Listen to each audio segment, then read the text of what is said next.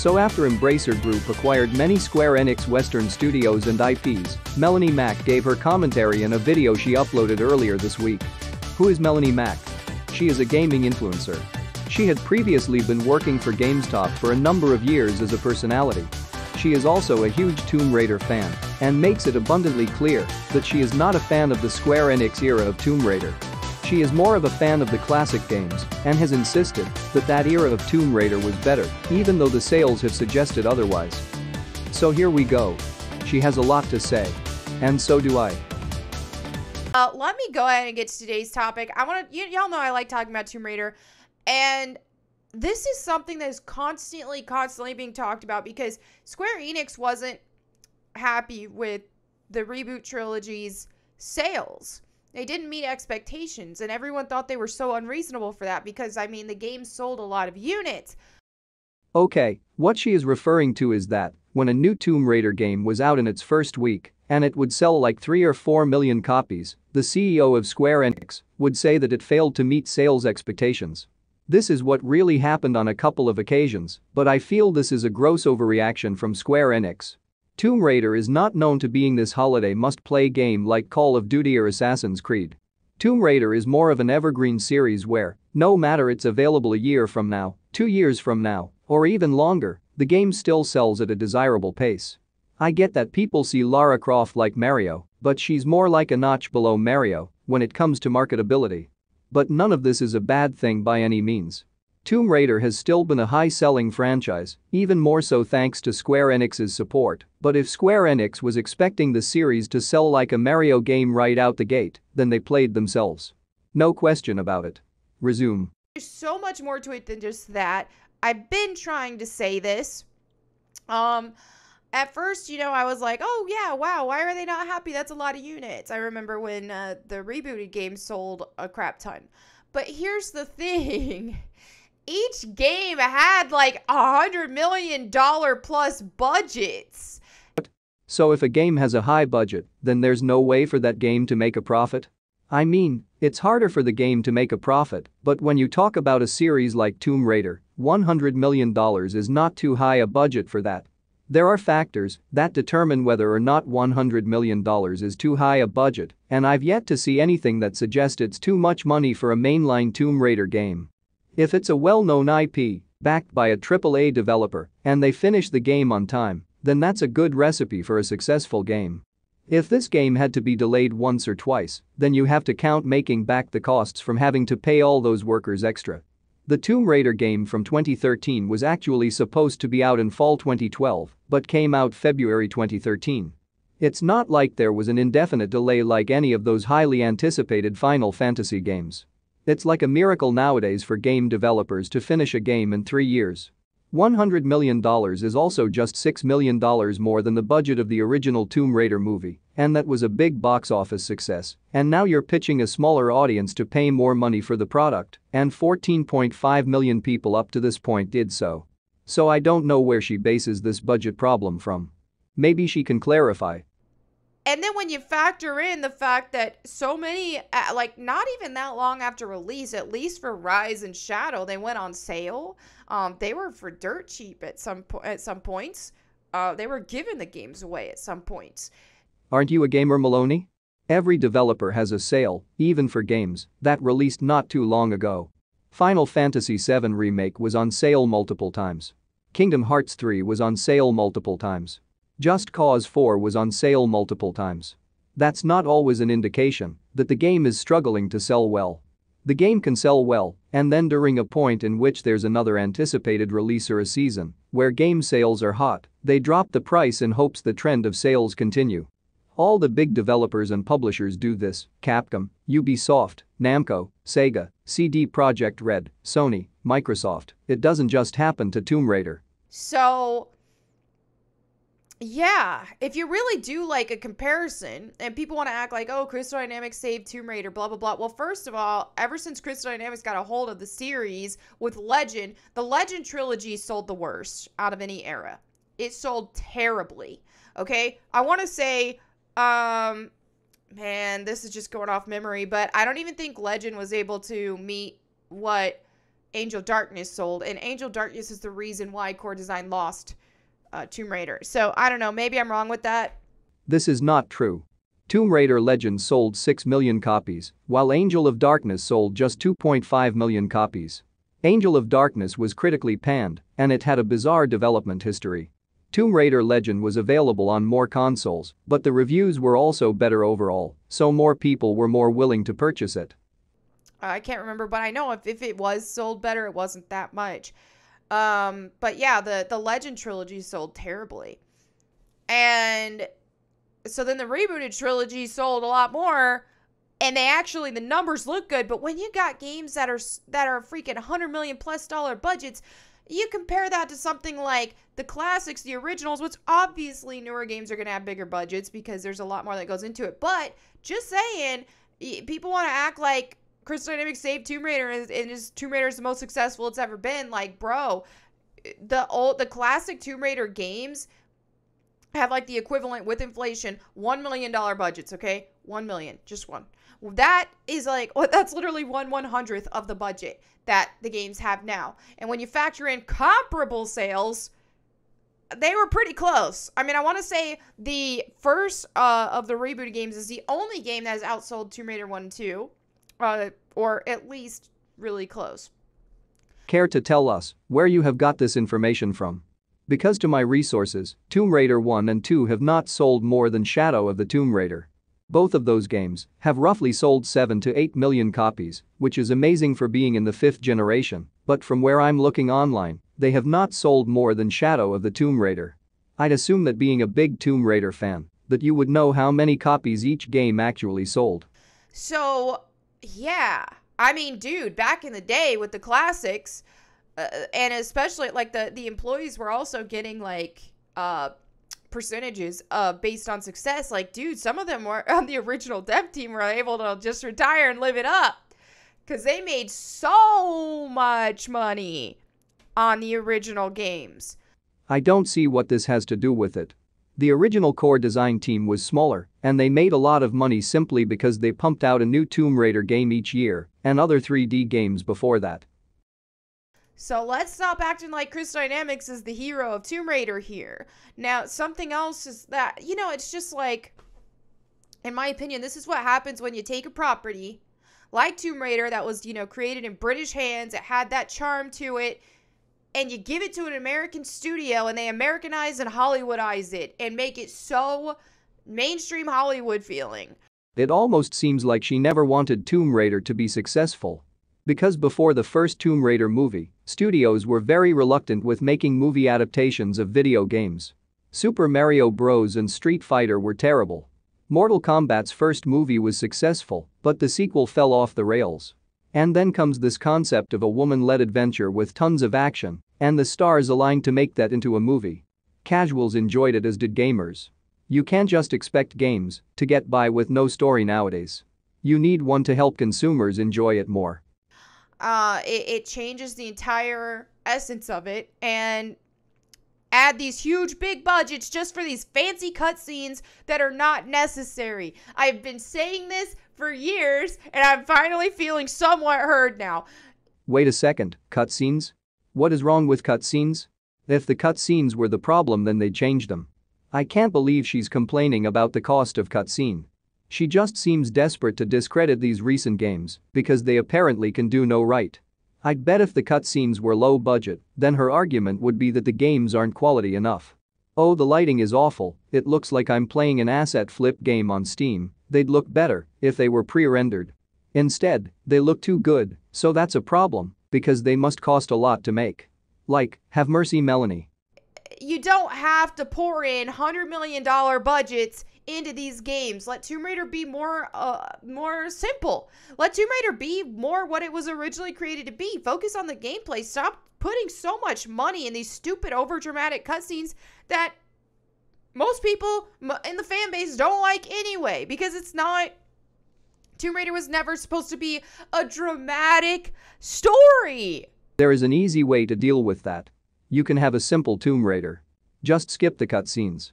Skip the dialogue. Go right into the gameplay if you feel like it. Cutscenes and story seem like a very silly nitpick. Having cutscenes there and having the option to skip them is the best of both worlds. You can skip them if you want, and it doesn't take away the story experience for those that want to enjoy them. It seems like she's not aware that there are other people that love Tomb Raider's stories and cutscenes. Why does it seem like we have to remove major parts of the game just so she can feel better? Personally, I honestly think she just hates everything about Square Enix's Tomb Raider because it's not classic Tomb Raider. Like when you watch one of her older streams playing these games, do you ever see her go this game is too high quality for me? No. In fact those things practically never crossed her mind. She actually enjoyed playing Shadow of the Tomb Raider. Here's the description of her video. Hi everyone. I can finally upload this, and I am super excited. Shadow of the Tomb Raider gameplay and my thoughts. I played the first 4 hours of the game, but condensed it to 30 minutes of gameplay with no cutscenes or spoilers.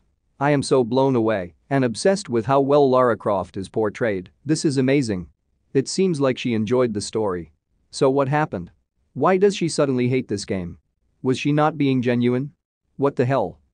Ex- until Angel of Darkness rolled around, and even then I didn't like that. So let me go ahead and get into the article before I just like go on the biggest tangent imaginable. Uh, the gamer says because I mean obviously they sold Tomb Raider for a hundred. I mean Eidos Montreal and Crystal Dynamics, so that's not even just Tomb Raider, but just Tomb Raider alone being sold for only three hundred million is like insulting, in a way. It's so dirt cheap for for one of the most iconic franchises of all time, but there's a reason for it. There is a there's a legit reason for it because it hasn't been performing because of how it's been handled. So this is practically her only argument as to why all three games flopped, because their budgets were too high. At least we know what these budgets were, because Square Enix is too reluctant to show us the budgets on games like Final Fantasy VII Remake which was in development since the PS2, Final Fantasy XV which was in development since the mid-2000s, and Kingdom Hearts 3 which had a development time of at least 6 years. Believe it or not, as much as the Tomb Raider games are known for providing a grand, immersive experience, Square Enix's own games are even bigger in scope, in length, in number of people involved, so I have to think the budgets are much bigger too. So those three games I mentioned, you put all their development times together, and you get at least 31 years of game development as a whole, and they were all worked on at the same time. With Tomb Raider, they managed to finish three games in nine years and sell way more copies. So, I have no clue what Melonie is talking about here. I am going to reserve my judgment on why it was just a $300 million transaction. I had to think it had more to do with Embracer and their finances rather than the company's value and performance. Because as I said before, if Sony, Microsoft, or Nintendo wanted to buy those studios, they would have wanted to spend much more for them, and Square Enix would have commanded far more money. But there's a good chance the studios didn't want that. Alright, so Square Enix just doesn't want to spend money on AAA games anymore. Yeah. Right, because Final Fantasy, Dragon Quest, Kingdom Hearts, that's nothing but cheap, low quality indie stuff. I I would love it if Tomb Raider did not feel AAA anymore. Don't let Tomb Raider be AAA anymore. Let it feel like almost somewhat indie and focus on take away all those fancy cutscenes. Let drop cutscenes in for a reward. Take away the realistic art style and feel of it. Let Tomb Raider be Tomb Raider again. Stylized art. No need for fancy mocaps. No need for all this realism. Not needed. They could make Tomb Raider for a fraction of the budget and make it a lot better and more fun. Stick to the old formula. Sticking to the old formula is why Eidos and Crystal Dynamics were up for sale to begin with. People were outgrowing the Jimmy Neutron graphics and disproportionate character models. That doesn't appeal to that many people anymore. When the PS1 was the platform to support, that was fine because of the limitations, but then once we are midway into the PS3, it just looks dated, and Square Enix rightfully felt like they had to make changes. And there is nothing unusual about that. Legend of Zelda, Sonic the Hedgehog, Castlevania, Resident Evil, it's not uncommon to see established franchises that have their formulas, quote changed, and it fares better for them. I was tired of Link in a green elf costume and having the same gameplay since Ocarina of Time. And let's be honest, if Tomb Raider were to go indie, she would not buy it. There are indie quality games like Lara Croft and The Guardian of Light that she could play, but for some reason, that's not enough. Square Enix has just sold three of its biggest studios, Crystal Dynamics, Eidos Montreal, and Square Enix Montreal, have all been sold to Embracer Group for the relatively low price of 300 million in cold hard cash. For the makers of AAA blockbusters like Tomb Raider, Deus Ex, and Guardians of the Galaxy, that seems like a seriously small amount. And yet, Square Enix seems happy to divest itself of the prestigious studios in the name of future profitability. I really don't blame them. Niko Partners analyst Daniel Ahmad broke down the numbers for us. The profit margins on running Crystal Dynamics and Eidos Montreal were far lower than Square Enix's other studios. Crystal Dynamics had an operating profit margin of 3.6%. Or 3 through 6, is that right? 3.6%. Okay, while Eidos Montreal squeaked by with just 0.65% in 2021. Okay, so let's stop pretending like, oh, all these all these sales. Yeah, it doesn't matter what your sales are. It's all about return on investment. If the investment is colossal, then uh, sales numbers don't mean crap if they're not pulling in enough revenue. I mean, they're barely breaking even, barely over breaking even at this point. Of course, she leaves some very important details out. But of course, we can't give any of these evil woke American companies the benefit of the doubt. Crystal Dynamics have not been working on Tomb Raider since they finished up with Rise of the Tomb Raider in 2015, and that's a pretty long time to be away from that. They then worked on Marvel Avengers, and by no means was that their decision. It was the higher-ups in Square that told them their next project was Avengers because of course they want more Disney games. Eidos has not been working on Deus Ex since 2017 they were in charge of the Guardians of the Galaxy game. Square Enix told them, no we're no longer going to make Deus Ex games, here's what you're working on next. But Tomb Raider and Crystal Dynamics are supposed to be responsible for these losses how? Square Enix overall had an operating profit of 14.2% last year, meaning the sold studios were vastly underperforming compared to other parts of the company. There's various divisions and studios within Square Enix, and from that I have researched that 14.2% profit has largely to do with Final Fantasy XIV and their mobile games divisions. Of course, you're not going to bring up their console RPG games that lost them hundreds of millions. Okay. Uh, Daniel says Daniel says it's worth noting that these expectations are always backed by something tangible, and in Square Enix's case, it's the cost associated with running the studio plus developing the game. In layman's terms, they spent too much and got a low return. Thank you. I've been trying to say this, and I don't know why. I don't even know why. Like I've been trying to say this for like. Again, how does this correlate to Tomb Raider specifically? How are you so sure it's not because working alongside Disney's IP is not the problem? Because anything associated with Disney has gotten much more expensive. They are shifting away from middle-class consumers with families, and they're now gearing towards upper-class consumers and childless couples. This is apparent in their parks, their products, and even when it comes to corporate partnerships, they want more money. All this tells me is that Square Enix was very stubborn when not thinking about the ramifications that come with working with Disney. Imagine that, we have this based lady that opposes everything woke, and Disney is that last company she's blaming in this situation. Years when people talk about the sales of Tomb Raider, and I'm like, bro, they're spending a hundred million dollars or more per game right now. It's absurd. It's like, uh, come on, this is simple math. Once again, she completely ignores the Marvel games. But this is less about Eidos Montreal or Crystal Dynamics underperforming and more about the fact that these studios just make expensive games, and expensive games can sometimes take years to recoup their initial investments, if they ever do at all. Yes, that's why stop making the game so stupid expensive. At the end of the day, when you're playing something like Tomb Raider, think of like the classic games, man. The focus was gameplay. The focus was the dynamic platforming that didn't have auto grab and that didn't have shiny ledges telling you where to go and that didn't have your character telling you what to do next. It But I thought she wanted simplicity. Now having simple controls and easy navigation isn't good? I remember playing WWE 2K19 and in order to play a ladder match, you have to stand up and climb a ladder and obtain a championship belt or briefcase off the hook.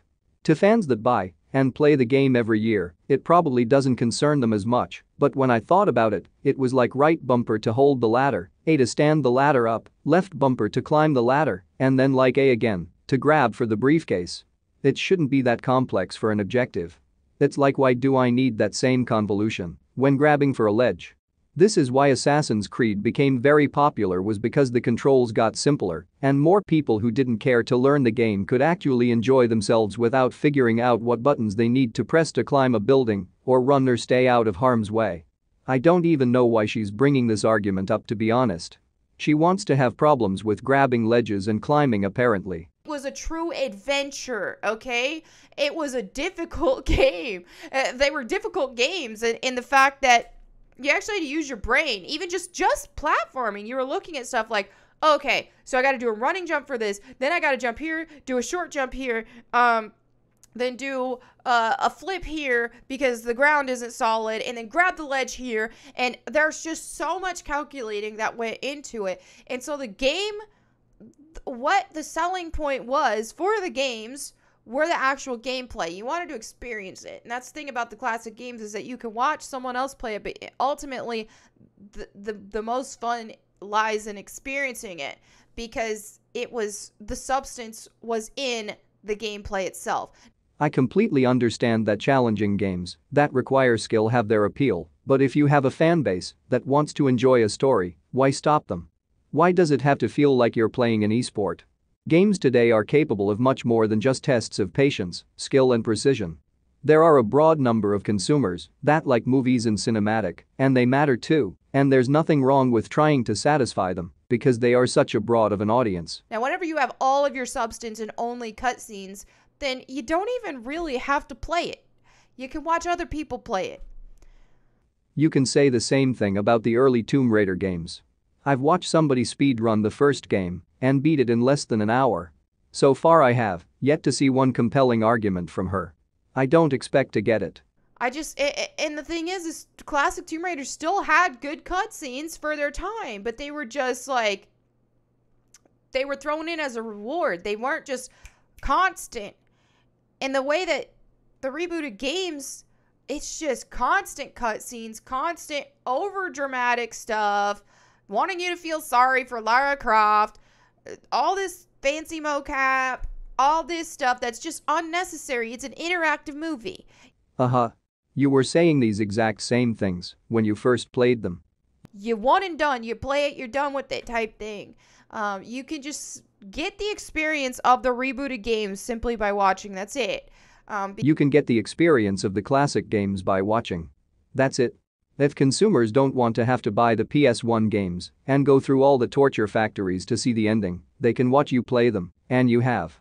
Because when you factor in the actual gameplay itself is I mean, unless you just really love the combat of it, which to me I feel like was the worst part of it, um then you're not even really to have much to play because like auto grab you don't really have to think with the traversal. You don't have to think with the puzzles either. Shadow a little bit, but even then, they're there. They're just it's an it's plays itself essentially. It's just it, it's it's it's a walking simulator that that that just gives you cutscenes to watch. Welcome to 2022, where video games have all turned into interactive movies. So, this is what happens. You pay all this money and you don't sell that well. Or you sell a lot, but you can't make up for it because it's just so much money that you're pouring into it. Compared to the budget of the movies, which last only 90 minutes or so, $100 million is really reasonable. When the gameplay isn't even doesn't even have the substance that the classic games did, not even close. Shadow of the Tomb Raider, for example, cost between 110 and 135 million to produce and market, making it one of the most ex- expensive games ever made. Really? I guess of all the known budgets, that's true. By the time Crystal Dynamics celebrated the Tomb Raider franchise's 25th anniversary, Shadow of the Tomb Raider had sold close to 9 million units, but it took almost three years to get there. Deus Ex Mankind Divided had a similar story. It cost roughly 70 million CAD to produce Mankind Divided in 2016 and likely many millions more to advertise it. But the game's sales were initially disappointing to Square Enix, as is often the case with its Western games. By 2022, however, total sales for Mankind Divided and Human Revolution totaled $12 million, or 12 million cal- or no, that's the sale copies. Okay. According to Embracer Group's numbers, those are strong sales, but it took over half a decade for Deus Ex to get there, and thus the risk of bankrolling future entries just isn't worthwhile. You know, yeah, I think I really set it up. I don't have to read this whole thing, but this is the problem with a lot of Western games. When you compare Western and Eastern games, okay? Like, Japan makes fun freaking games, dude. They, first of all, they don't always bow to the woke stuff. I fail to see what this topic has to do with Tomb Raider, but if we're in the business of calling companies woke, what's the wokest company on earth right now? Secondly, they they actually make fun games. They make stylized characters. Not everything has all this expensive uh, mocap and Hollywood-esque realism. Not Square Enix, not Capcom, not Namco, not Sony. There are some smaller Japanese companies that develop and publish fun games like Level 5, Marvelous, and Nicalis, but if they had the money to go the quote Hollywood route, they certainly would. They certainly aren't happy living on the edge and having fiscal limitations for each of their games. In terms of graphics, storytelling, localization, etc. Okay? And their games are just they they fully embrace when they're over the top and they're just fun. Yes, partnering with Disney every chance you get is fun. So there's a reason why Square Enix's Eastern properties were doing better than their Western ones. We need. Please show us. Because there are many indicators that disprove it. How can you spend 31 man years on these three games alone and say they've made more money with fewer copies sold than Tomb Raider? Need Western studios to stop all trying to be Hollywood experiences. Right? It's Crystal Dynamics' fault that a Japanese company gave them $100 million to make a Tomb Raider game. They can do no right. And be fun again, please, for the love of freaking heck. Also, I wish that Tomb Raider wasn't in Western hands in general, like or in in American hands in general. I should say Tomb Raider just isn't supposed to be. Tomb Raider needs to be in like British hands again. I really wish it could be, but I mean, at the very least, some sort of European hands. It just doesn't. I don't like the Hollywood esque Tomb Raider feel. I don't like it. Didn't like it with the movies. Now, you know, as much as I did like the movies for what they were and some elements of them, um, I feel like Tomb Raider, that's what made Tomb Raider go downhill after the first Tomb Raider movie. Period. Period. Tomb Raider was so freaking perfect before then. Okay? I'm certain that if Core Design had all the time and resources in the world, that they'd add a meaty story to their early Tomb Raider games. And it was when Hollywood got a hold of it that things started going downhill. That's when they started adding the over dramatic stories with Lara Croft's dad. That's when they started shoehorning that. So they changed Lara Croft's backstory from being like a, uh, you know, it's, it's American Hands that did that. It really is. Right, because Japan has never tried to add Hollywood elements to gaming before. It's apparently okay when Japan does it and wants the Disney IPs. When Capcom wants to make a crossover fighting game, when countless mobile companies make Disney games that only 1 million people download, when Sakurai wants Sora in his product for no other reason than to wet his own cock, yeah, that's all just peachy. Obviously, I love America. I'm proud to be an American. But, dude, I don't like how they make games. Um, don't like what they do with game properties right now. For the most part, with some exceptions. Don't like the Hollywood focus. Don't like it. Um, and that's what killed Tomb Raider for me is ever since uh, it fell into fell victim of, of trying to be a Hollywood experience um, with the movies, and ever since then, so it's sad. That's a sad thing about something that's so charming and great and an indie feeling that gets mainstream, you know, and it's only gotten worse ever since. So. Yep, that Hollywood rub, it just made Tomb Raider more popular and more in demand, and that's apparently bad. All the guest game appearances and film and shows. That's all bad. I guess it's only going to be good when Lara increases her cup and lip sizes right. A lot of people get this wrong. The more recent version of Lara Croft is not a product of wokeism. SJWs did not give her the generic appearance she has now. This decision to go in this direction was made shortly after Square Enix acquired Eidos in 2010, as a matter of fact. Because of course, something wasn't working. But yeah, this is basically the end of her rant. But it's just so weird how you can go back to her videos where she talks about the reboot Tomb Raider games and seems like she's had fun with them, and now it's a complete 180. Nothing redeeming, waste of money, dead in the water, good for nothing, just complete trailer trash. And I feel that her hate for wokeism possibly played a part in her changing her stance on them. Before Donald Trump was president, he was a well-loved celebrity like Gordon Ramsay with a big personality and was good at managing companies. And then one thing changes and suddenly people hate him simply because he supports people, by that I mean middle-class Americans, that the other side doesn't like. It seems like the same thing with Lara Croft from anti-SJW gamers. They make one mistake and suddenly they're completely irredeemable. Instead of Orange Man bad it's Reboot Woman bad. But this is the end of the video so let me know what you think.